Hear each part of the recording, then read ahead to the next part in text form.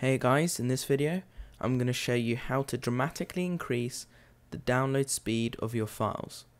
So to do this you'll need a free application known as JDownloader. I'll put the link for this in the description. But the first thing you have to do once this is downloaded and installed is where it says max connections put this to 20, where it says max downloads put that to 20, and where it says speed put it to 0. So the max connections is the amount of connections you are giving to the host. So say it's a host like mediafire.com and say they limited you to 100 kilobytes per second. Theoretically, if you connected to them 20 times for the same file, you're getting 20 times that speed. So 20 times 100 kilobytes per second is 2 megabytes per second. So if your download speed could take it, you could get 20 times the speed. Max downloads is how many files you can download at the same time, and the speed is your limit. So say you want to limit your files to 800 kilobytes per second, you just put that in, but zero means unlimited. Now to prove that this actually works. So if I go here, um, this is just a random file, doesn't really matter what it is, but the guy says the download is a little bit slow. So if I just try and save the file in Chrome, just normally how you would do it, just press save. As you can see, the download speed is very, very slow. It says it's going to take two to three hours, and I'm getting in the 20 kilobyte per second zone. So if I just cancel that. Now, if I copy the link and go to JDownloader, you can see it's already got it because it's got a link grabber. And it also checks if the file is online, which is really, really nice because sometimes you try and download something, but it turns out that it's offline. So there's no point even wasting your time. It finds the file size for you and the file name even before you start downloading, which is really cool. And then all you do is either press the play button or just right click and press continue with all. So I just press the play button. You can see it will say connecting and then start to connect 20 times if it can. And you should see that the download speed will start to climb. And already it's a lot faster than 20 kilobytes per second. It's still not fast, but I'll pause it.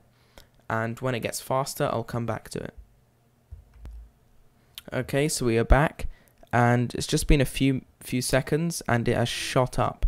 So it's getting really close to that 1 megabyte per second range. So before with Chrome, we were hardly getting 30 kilobytes per second. And now we are getting much, much faster. So from 2 hours to under 5 minutes. So that is a drastic improvement. If you want to remove it, you can either pause, stop it, or press this remove button, but for some reason it doesn't like to work. Or you can just go delete from list or from disk. So as you can see that it drastically improved my speed. And one other thing that it's great at is, um, you know, sometimes you get downloads, but they're in parts because the file host um, limits the file size. So say you have a 500 megabyte file and the file host limits to um, 100 megabyte per upload.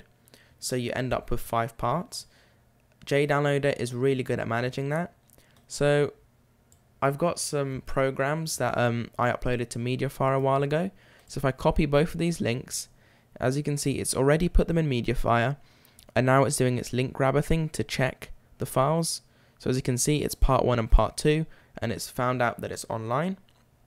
And what it's great at um, is once these are downloaded, it will uncompress them. So you actually get the final folder. As you can see here in extensions, it says JD Unrar, and it will extract the download slash extracted, which is really nice. So I press start. Um, if it has a captcha, it asks you to type it in now. So let's see if I can get this right.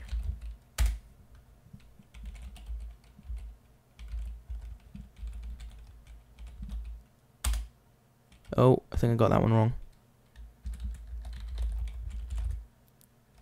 Wow, I'm terrible at these. Or maybe they're just getting harder. Nope, there we go. So as you can see there, I'm getting really good speeds. And once it's downloaded, it will put them together as one folder.